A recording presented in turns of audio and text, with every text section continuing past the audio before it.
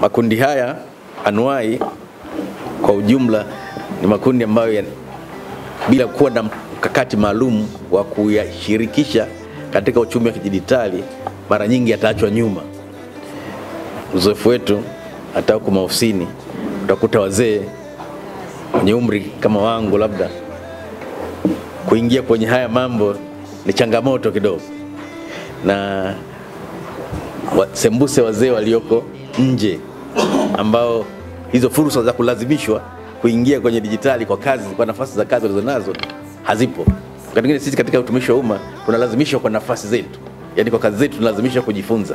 Sasa mzee ambaye yuko nje nje ya, ya, ya lazimiko hilo la kazi zake za kila siku kuingia kwenye mfumo inakuwa changamoto kubwa zaidi, au mtu mwenye lemavu au jinsia, kina mama huko vijijini wakiwemo, kama unavyojua nchi yetu pia au nchi za Afrika na duniani pia mfume dume ulitawala. Kwa hivi wanawake wame wamebaki nyuma.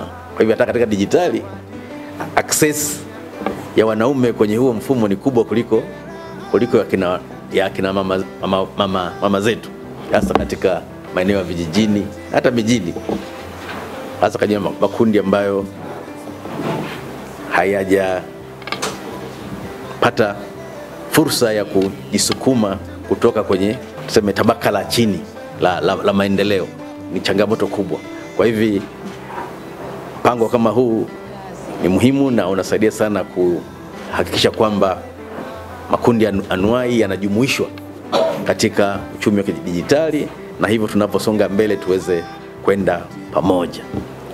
Lakini kwa sababu ni kikao kazi na nyinyi mmefika, mtaelezwa mambo yote yanayohusu, mtajadili, mtatoa michango.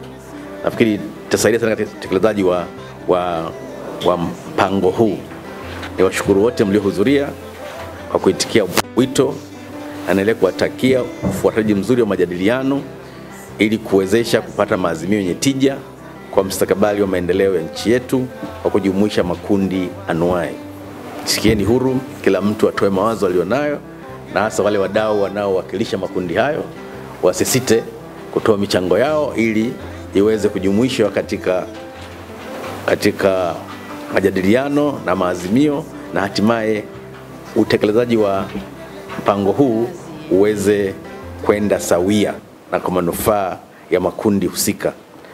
Kazi iendelee.